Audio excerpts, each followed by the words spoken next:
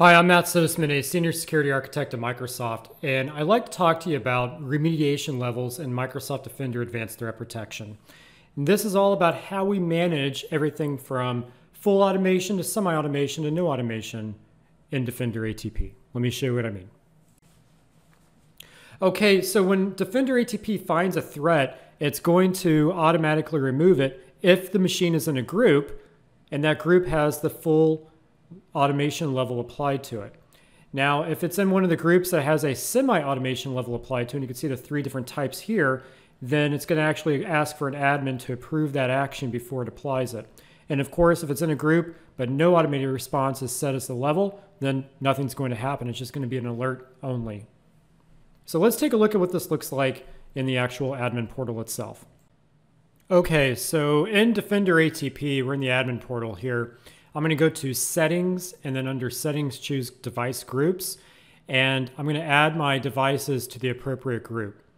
Now, I've already created a group here that is set to full remediate threats automatically, just like I showed in the previous slide. And then here's the semi levels we can apply or just no automated response.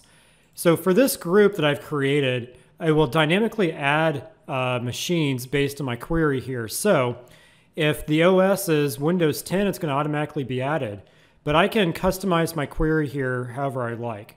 So do that to basically fit your needs.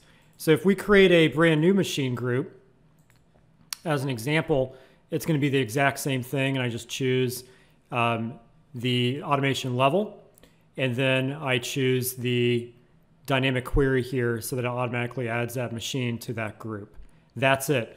So when you deploy Defender ATP and you onboard machines, the next step is to make sure they get added to the right group.